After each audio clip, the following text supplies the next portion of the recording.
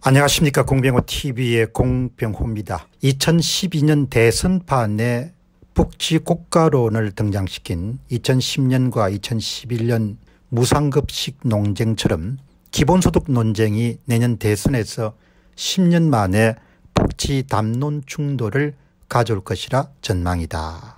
한 복지 전문가의 같은 전망은 불행히도 맞아떨어질 것으로 봅니다. 1981년 그리스에서 그리스 역사상 최초로 좌파 정권이 등장하고 그리스는 마치 무한 질주하듯이 무한 복지의 길이자 포퓰리즘 길로 달려가기 시작합니다. 주목할 만한 사회 현상은 일단 어떤 국가가 포퓰리즘 길로 들이서기 시작하면 복지에 관한 한 여당과 야당이 완벽하게 사라지고 만다는 사실입니다. 마치 경매장 같은 상황이 그리스에서 일어나게 됩니다. A당에서 100만 원을 주겠다라고 하면은 B당에서는 150만 원을 주겠다.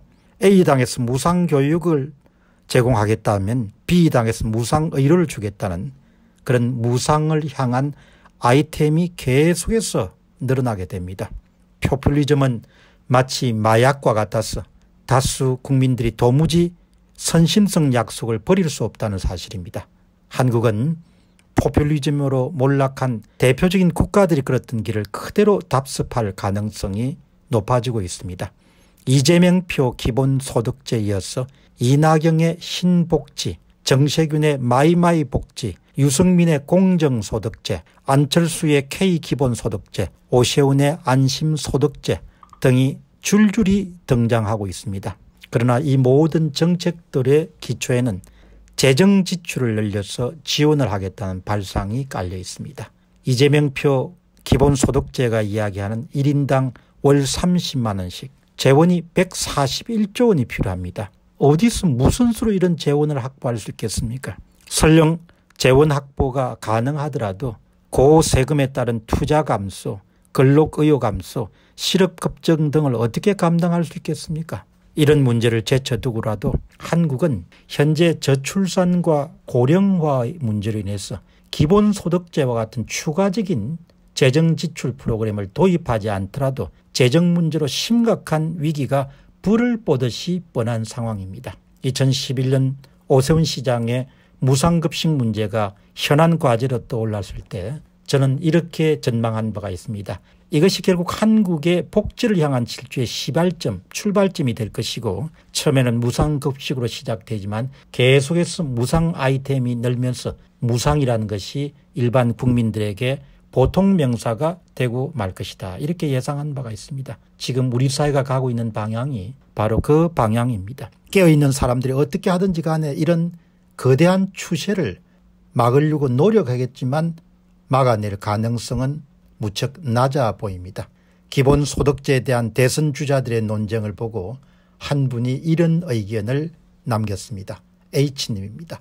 선진국과 한국의 차이는 선진국은 제국주의로 수백 년의 부를 축적한 국가이고 반대로 한국은 수백 년 부를 빼앗기다가 요즘 불과 몇 년 동안 좋아진 것이 불가하다. 선진국과 동일로 착각하고 선진국 행세하려는 정치인들을 나는 능멸한다. 이러니 헌법을 고치고 우리 미래를 생각하는 정치인은 없고 우리의 발전도 여기까지 될 가능성이 많다.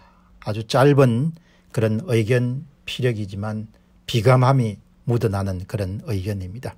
우리의 발전도 여기까지 될 가능성이 높다는 이분의 이야기는 어쩌면 지나친 낙관론이 될 수도 있습니다. 내려가는 일이 너무나 자명하기 때문입니다. 공짜는 양재물도 마신다는 우리 옛말처럼 아주 어려운 상황 이것을 좀 더 비유적으로 표현하면 한국인 앞에 지옥문이 열릴 때까지 이런 복지를 향한 질주가 계속될 것으로 보입니다.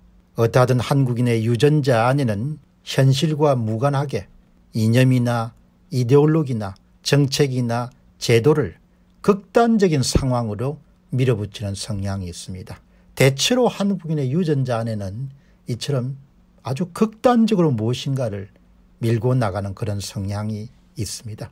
민족의 습성이라는 것이 마치 용수철 같아서 일정 기간 동안 눌러서 억제할 수 있지만 결국 순식간에 본래 모습으로 마치 용수철처럼 되돌아가고 만다는 그런 생각을 하게 됩니다.